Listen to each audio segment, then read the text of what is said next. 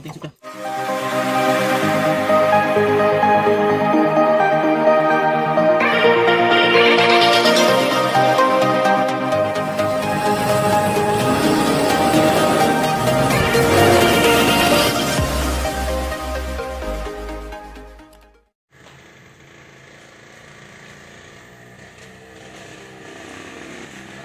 Oke, kali ini kita ganti busing shock L300. Ini yang sudah kita pasang yang baru.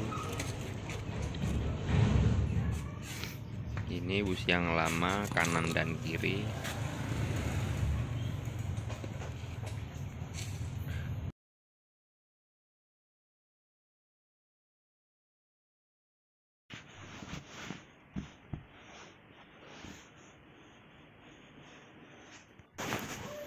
Ini dia busing yang baru penampakannya seperti ini.